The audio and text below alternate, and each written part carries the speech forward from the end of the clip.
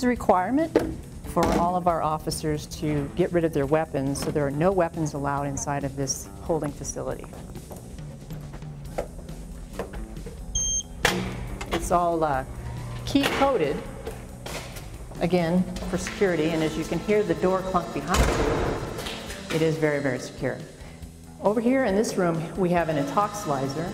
This room is obviously where we're, bring our uh, folks that have been arrested for driving under the influence of alcohol. Right here, this is not used very much. This is actually an area where we can shower folks off because unfortunately we get some folks that are uh, uh, pretty dirty. Um, some, some through no fault of their own, some through their own fault. Anyway, so it's not used too often. If you look at the bottom here, you can see these little uh, silver discs. These discs actually are kick plates, and what happens is, is that if the, an officer is in trouble or if there's a fight going on, you can simply kick this kick plate and it will register into our communication center, which is located on the second floor, and they can advise other officers to come in here and help uh, whoever's in trouble in here.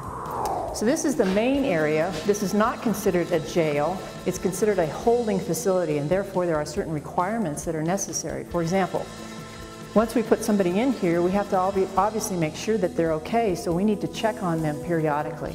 Um, to the back, there's a, several cells in there where we can put people that's a little bit more secluded, and they're uh, segregated men, women, and juvenile on the other side. So the juveniles are always separated from the adults over here. Over here, this is all the booking area.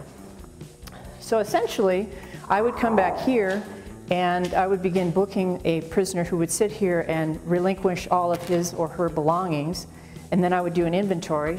I would log them into the book over here, saying that they came into the facility at this time, because that's very important. Time is really critical. For example, a juvenile has to be out of this facility within six hours. We have a six hour limit, and then they are out the door.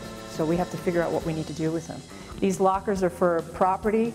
There's also um, a locker for prisoner food. We have a prisoner for a length of time. We have to give them this fine meal so that they don't remain hungry in our facility. okay, the computer system obviously would record their information, the charges that we have pending on this individual, um, what we intend to do with them, such as release pending charges or taking them to jail. So this is the initial place that they come to to be booked prior to being transported up to Jefferson County Jail for a more permanent stay. Okay. If we come over into this room here, this room actually kind of winds around to the back. Again, it's a, it's a way to keep juveniles and adults separate. It's very critical to keep them separate. But this room in here is our booking area. So again, we would book from this area and the prisoner would come here. They would stand within these footprints and their picture would be taken in the camera above.